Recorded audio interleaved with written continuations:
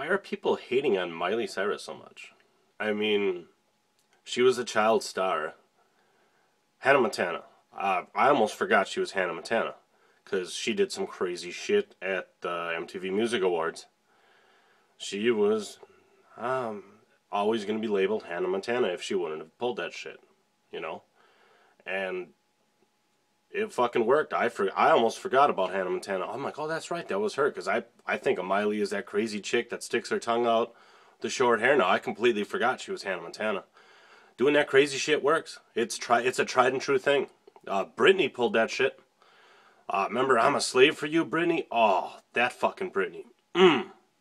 Yeah, she's not a little girl anymore. That shit worked. She's in her mid 30s now, but she did that shit back in like 2000 or some shit. And like, whoa, she's not a girl. I mean, it fucking works. If I was an agent, I had a client, I'd be like, yeah, fucking do that, man. It works.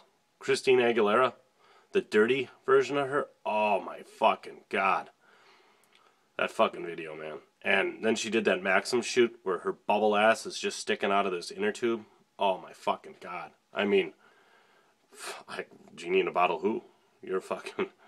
Christina. That shit works. She's she's in her 30s too now. You know, and before we know it, Miley Cyrus is gonna be in her 30s and.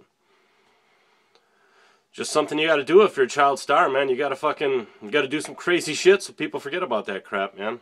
I mean, you'd probably do the same shit. You know, don't be hating. It's what you got to do. Works.